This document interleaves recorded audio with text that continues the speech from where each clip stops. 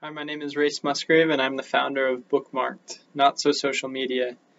Ultimately, Bookmarked is a place where a journaler can go to upload any type of media to their journal in a place that's online so they can access it from anywhere that keeps the authenticity of pen to paper journaling that's lacking in a lot of online journaling services. I love journaling. I grew to love it on my mission. I served a mission for my church, and I want to bring that love to others.